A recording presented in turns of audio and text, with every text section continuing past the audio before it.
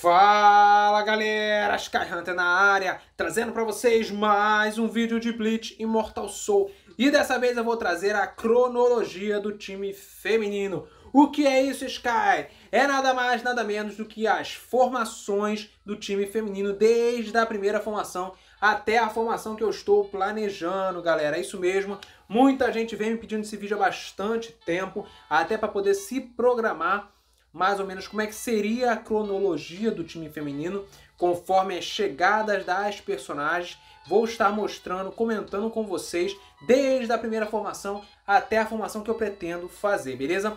Vou, não vou tentar enrolar muito nesse vídeo, explicando muita coisa. Vou estar mostrando os times, comentando algumas coisas, mas para vocês já ficarem cientes de como vai funcionar o time feminino, beleza? Com as mudanças, é claro. Porque, tipo assim, os, ti os times femininos anteriores, anteriores assim aos salões deuses, que eram times diferenciados, não existem mais, beleza? Agora é tudo focado nos salões deuses. Ou claro que até você chegar no salão deus, você vai estar fazendo o salão aí no caso um time de três almas. Mas vou estar mostrando tudo para vocês nesse vídeo, beleza?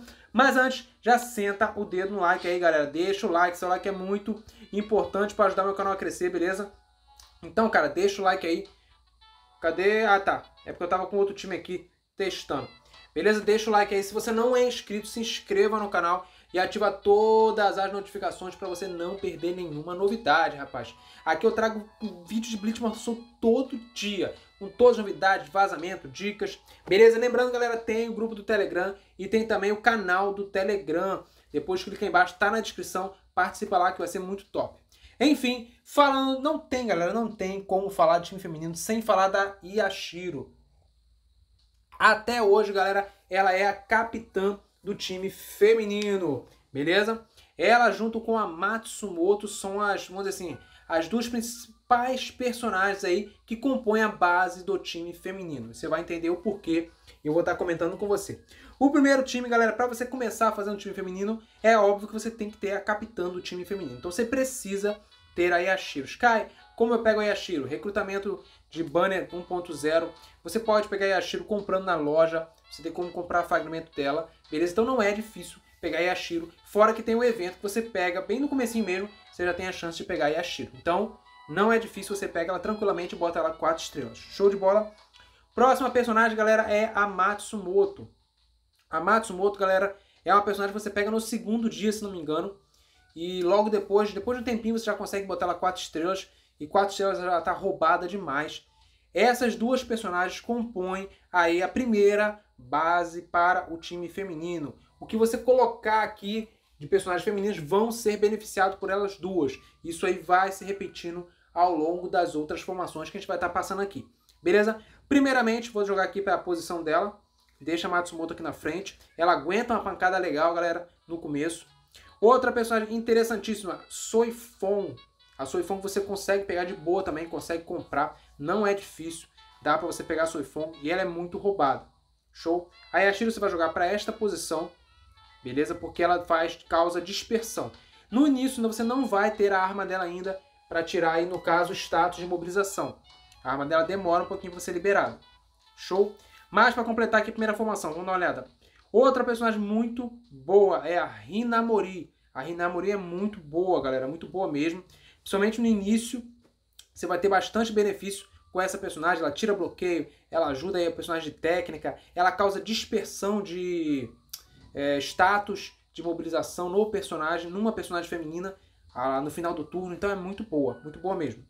Vamos lá, para continuar aqui, nós temos duas personagens interessantes. Nemo é uma personagem, galera, que no início faz certa diferença no time feminino. Por quê?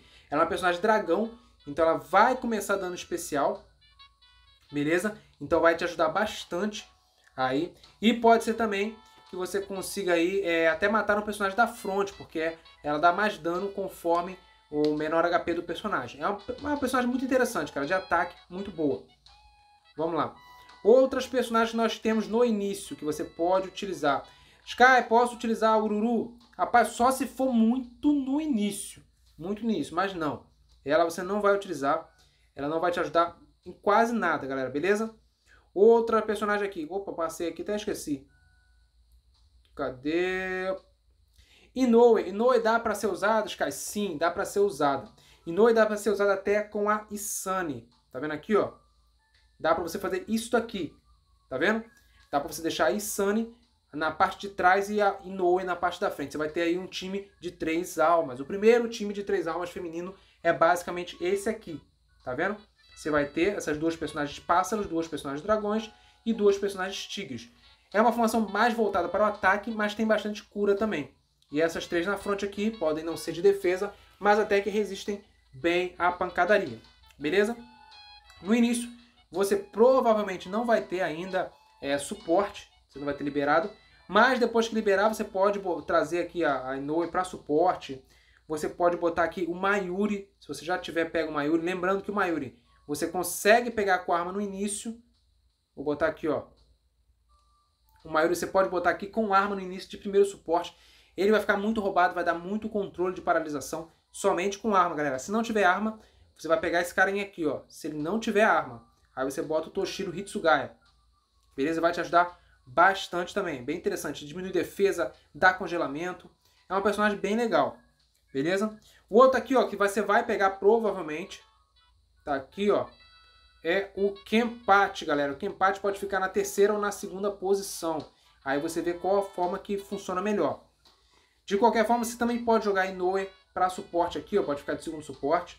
A Inoue se você quiser.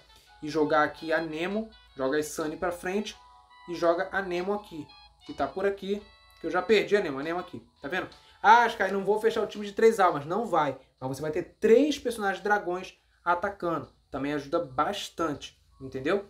São as várias possibilidades que eu estou te dando aí para você formar. Mas se você não quiser utilizar e quiser usar um outro personagem aí no suporte, aí você vai ter que verificar um outro personagem interessante. Se já tiver os Zanguetos, pode utilizar os Zanguetos de suporte, beleza?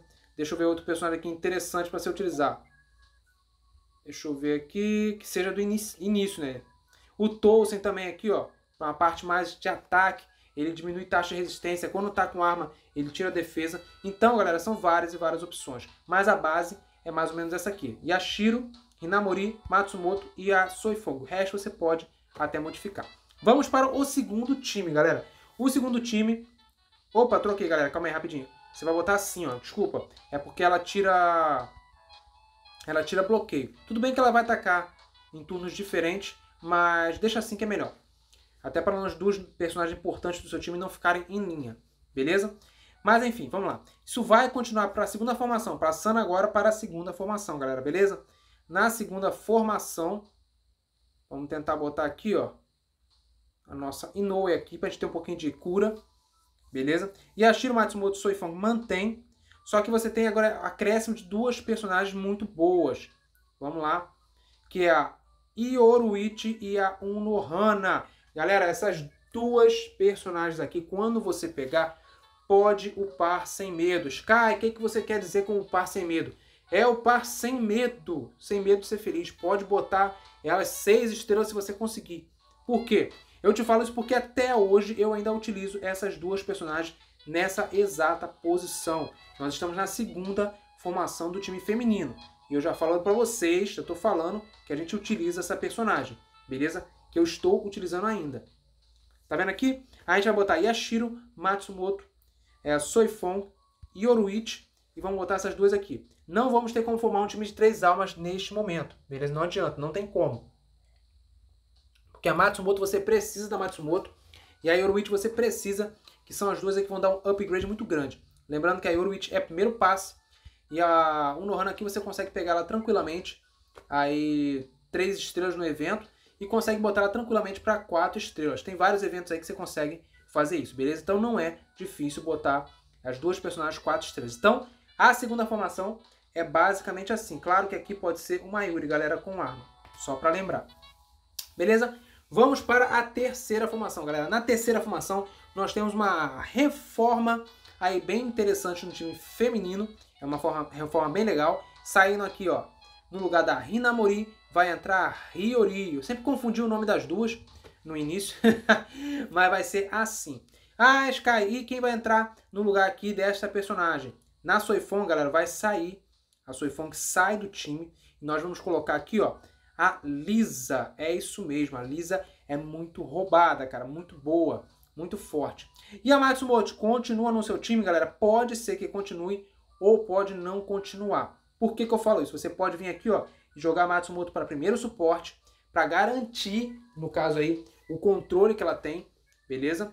Lembrando que ah, quando ela está no campo, qualquer personagem feminina tem chance de dar confusão no seu especial, então ela é muito boa. E você vai acrescentar essa personagem aqui, ó, chamada Rukia Shikai. Porque as duas, galera, no início da partida, elas duas juntas dão muito controle, dão muito controle mesmo. Então, ajuda pra caramba ter essas personagens.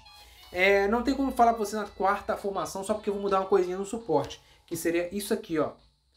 Que a gente pode ser que mude, que fique interessante. A cuna de segundo suporte. Beleza? É uma personagem bem legal, galera. Se você tiver a arma dela, então é baratinho de conseguir a arma dela, não é difícil. Você consegue comprar a arma dela. E ela vai dar um upgrade muito grande no seu time. Vai ajudar bastante nessa terceira etapa do time feminino. Beleza? Vai ajudar bastante. Beleza, galera? Agora vamos passar para a quarta etapa. Até aqui, até a terceira etapa, eu vou dizer para você, você vai sofrer com o time feminino. Você vai ficar top 30, às vezes top 40, dependendo como for. Você consegue até chegar no top 20, mas vai ser muito difícil. Não é impossível, apenas difícil, galera, beleza? Você não vai conseguir um grande resultado com este time aqui. Dá para conseguir um resultado legal? Dá, mas não um excelente resultado. Agora, na quarta formação, na quarta geração do time feminino, melhor dizendo, a coisa muda completamente de figura, galera. Muda completamente. Aqui, a gente passa a não utilizar mais, no caso aqui, a Kuna. A Kuna sai. Entra aqui a Matsumoto. A Yashiro vem para primeiro suporte. E o Kenpachi sai, galera. Por que, que eu tiro o Kenpachi aqui? Uma parada muito interessante. Eu tiro o Kenpachi porque a Yashiro ela ganhava muito bônus do Kenpachi quando ela estava em campo. No suporte nem faz tanta diferença, então eu tiro o Kenpachi e a gente vai acrescentar esse personagem aqui, ó, Shinji, que você vai conseguir no banner de recrutamento 2.0. Até lá, você já deve ter esse personagem, beleza? Quem já está no nível completamente avançado do jogo. Já está no nível bem mais à frente. Estamos na quarta geração do time feminino, beleza? Você vai poder fazer isso aqui Aí você vai botar aqui na parte de trás, galera. Você vai poder manter a Rukia Shikai, se você quiser manter a Rukia Shikai. E você vai botar essa personagem aqui, ó. A quarta geração, galera, começa com a chegada da Neliel UR, beleza? Neliel UR chegando, galera, você vai formar a Forçou completa. Tá vendo aqui?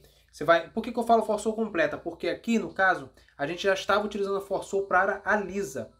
Porque a Lisa se beneficia do Forçou. Então temos Tartaruga, dragão, pássaro e temos aqui também a tigre, que ela mesma, então ela beneficiava completamente do forçou. Só que agora você tem o um acréscimo da Neliel, que vai te dar também o Salão Deus. Você já tem as duas aqui e o resto você pode escolher. Recomendo assim, você vai continuar com bastante controle no time. É só você pegar aí a Shiro aqui e botar o Orso do Shadow para dar mais controle da vertigem.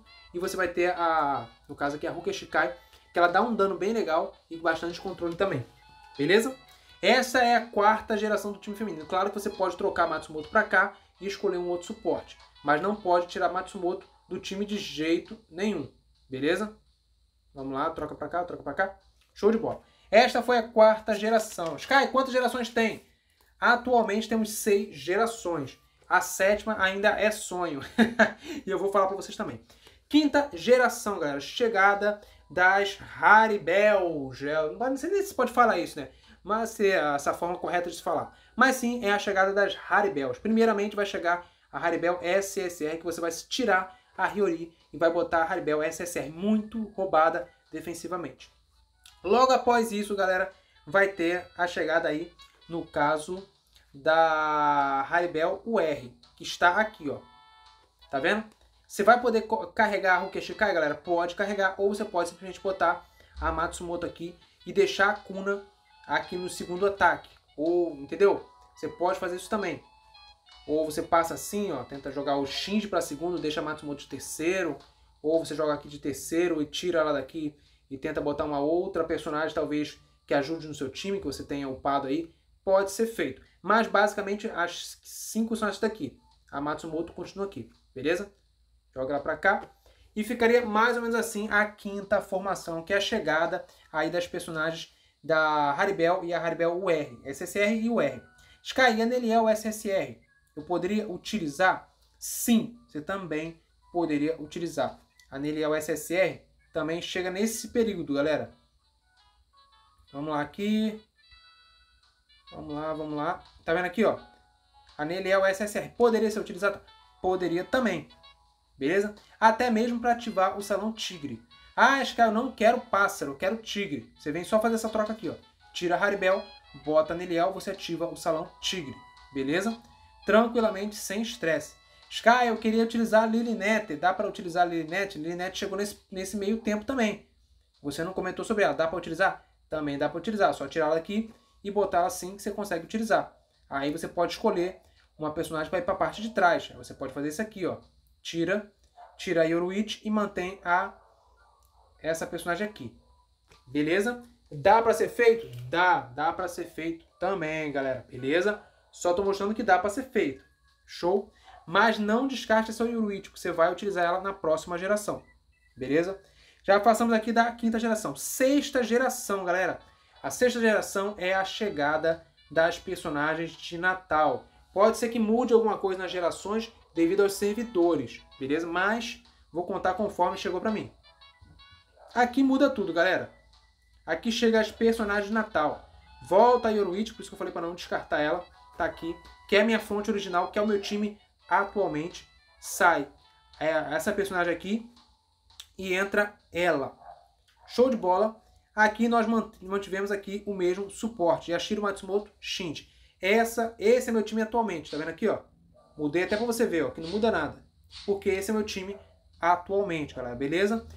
Sky, qual é a sétima geração que você falou? Sete é o número da perfeição, né, galera? Então, sete vai ser perfeito. A perfeição, galera, vai chegar com a Yoruichi UR.